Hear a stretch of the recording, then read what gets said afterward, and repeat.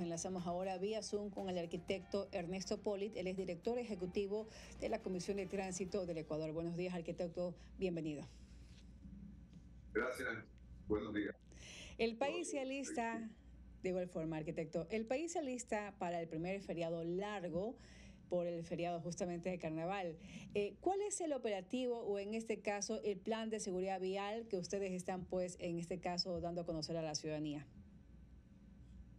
Bueno, cuando también se generan este tipo de feriados, nosotros nos activamos inmediatamente con todo el, cuerpo de informados y el control operativo que vamos a ejercer hoy por hoy en la red de Cobra, de provincia que tenemos de competencia, es con todo el cuerpo informado que tenemos, que son 4.600 informados, un equipo de, de, de parque automotor que los prenden 285 unidades de cuatro ruedas, y dos, eh, 230 unidades de, tipo bicicleta. Así que eh, la idea es tener cubierto de la mejor manera la red vial para asegurar la seguridad de los conductores y de los turistas. Así es, y más que todo en este feriado en que prácticamente no hay restricciones, precisamente pues recordando lo que pasó hace dos años cuando empezó la pandemia del COVID, en que había muchas limitaciones principalmente en el tránsito vehicular. Actualmente, ¿cuál es en este caso, cómo se encuentran las vías principalmente en la costa ecuatoriana para quienes quizás van a viajar a muchos balnearios en el país?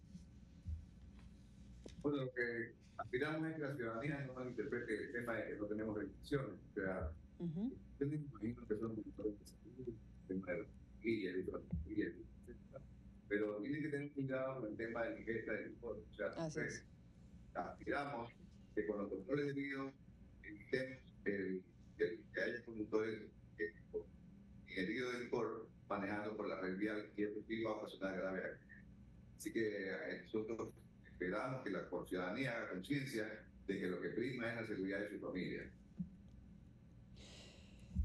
¿Cuánto eh, del operativo que se va a desplazar por toda la costa ecuatoriana principalmente, arquitecto Polit, cuántos agentes serán destinados para el control de las vías? Eh, son 4.600 agentes que van a, lo largo de toda la red del Ecuador, repartidos en diferentes partes. La parte de Guayas es la que más agentes vamos a tener, que son agentes aproximadamente.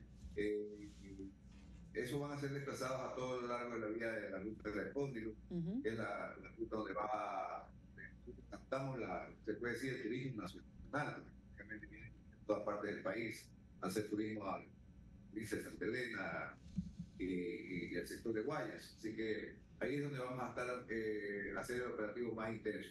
Eh, vamos a estar, como le digo yo, con el control de, de, de, de equipos de, para los procesores, para evitar que la ciudadanía se, o sea, se, vaya a, a, manejar con, con licor y eso, eso sí nos va a facilitar, como le decía yo antes, vez cliente. Así que por ese lado estamos nosotros eh, tomando todas las precauciones en caso. A propósito. Los controles de terminales terrestres, también es importante decirles que vamos a tener control sobre el tema de los drones de seguridad. Eh, acuérdense que el último accidente lo que ocurrió porque ninguno de los, de los pasajeros tenía cinturón de seguridad. Hoy por hoy vamos a, ser estrictos en ese control, vamos a ser estrictos en el control de las llantas, vamos a ser estrictos en el control de los, de los documentos, en el control de las placas. los, ciudadanos tienen que ser conscientes de que tienen que circular con placas para pasar más los gastos del peaje. Ahí vamos a tener controles en los terminales terrestres y el peaje. Entonces significa que vamos pues a, trasladar lo que pasó hace dos, tres años atrás cuando todos viajaban principalmente a la playa y en los peajes se armaban las filas largas precisamente pues para revisar que todos los, en este caso los conductores tengan los, los documentos que estén realmente vigentes y que los porten realmente. Realmente el control de, documentos es básicamente en el terminal de veces para el tema del conductor, o sea, la idea es que el, tráfico fluya de la mejor manera, no hacer esos, dice usted, esos tacos de, estar deteniendo vehículos para controlar documentos. el, documento, el control de documentos no se, no se, olvide de que la ATM controla hasta el kilómetro 26. Entonces nosotros hacer un nuevo control después del kilómetro 26 no, no ayuda en nada. Lo que sí le digo a la ciudadanía es que tiene que tener todos sus documentos para el caso, en caso de sea detenido por alguna infracción o algo, tengan toda su documentación.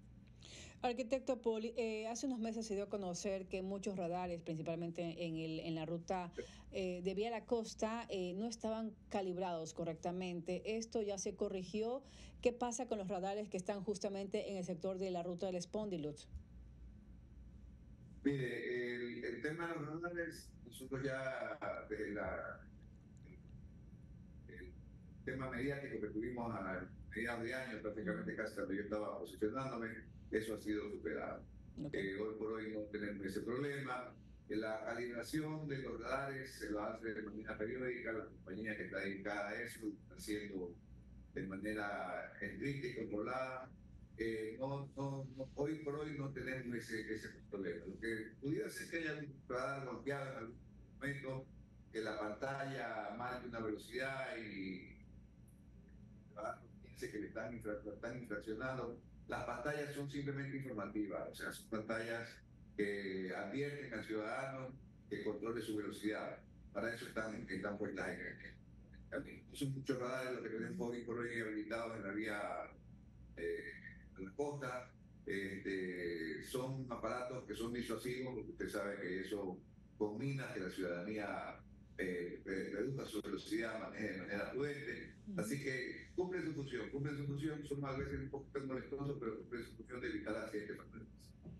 Arquitecto, ¿se tiene hacer un aproximado de cuántos eh, ciudadanos se van a desplazar por las vías, en este caso de la costa ecuatoriana y del país también, para este feriado? Sí, eh, nosotros tenemos pensado que en el, en el control de Chongón van a haber una salida de 100.000 vehículos aproximadamente. Eh, el retorno se, lo hace, o sea, se olvide que son cuatro días que, tenemos de feriado, entonces no todos salen el mismo día. O sea, hay unos que salen el primer día, los segundo día. Entonces, realmente la, la capacidad de, de, tráfico de manera continua, normal, de la vía es de 2.500 vehículos generalmente en estos feriados se incrementa como a 3.500. Eso ocasiona que el desplazamiento de los vehículos sea de manera más lenta, pero sí va a ser de manera continua. Vamos a estar vigilantes en el sector de los peajes, que es donde se producen los, tacos, cuando tienen que hacer el pago de efectivo en cada una de las casetas, de que, de que los concesionarios abran la mayor cantidad de casetas posible para que si trabajan normalmente con cuatro casetas en fines de semana normales, lo hagan con siete casetas en fines, en fines de semana Así que estamos justamente, hemos conversado justamente con los uniformados de este, este, tema y ellos están vigilantes de que las cosas se hagan de esa manera. Arquitecto, ¿y qué pasa para el retorno? ¿Se ha planteado la posibilidad de que sea unidireccional? No, eso no es necesario, realmente no es necesario. Eso, eso lo, lo tenemos analizado, lo máximo que podríamos hacer es en un momento dado sector de progreso, algo así como unos 4 o 5 kilómetros hacer la, la, vía de contraflujo que se llama, que es esa vía que nos tomamos un carril de, la, de, la, de la vía contraria. Pero nada más, yo creo que eh, eh, de acuerdo a las estadísticas, al manejo que tenemos estadístico y, al tiempo de experiencia que manejan los uniformados que hacen el control operativo, ellos han determinado que no va a ser necesario. Como ha pasado en otras ocasiones, van pues a instalar este operativo a nivel nacional con otros organismos e instituciones de control como la Policía Nacional mismo y también otras instituciones. Para esta fecha se activa todo, todo, todos los cuerpos que tienen que ver con la, con la parte de tránsito y movilidad. Eh, está activado el Ministerio de Salud, ambulancia, está activado el control de vías que llevas en otras partes del país, está activado Fuerzas Armadas, están activados todos, todos realmente, y ANT, que es la Agencia Nacional de Tránsito, también con políticas, o sea, eh, creo que en este momento puedo decir que esta situación va a estar debidamente controlada. Agradecemos al arquitecto Ernesto Poli, quien es director ejecutivo de la Comisión de Tránsito del Ecuador, por habernos acompañado. Gracias a usted por permitirnos eh, darle esta información a la ciudadanía.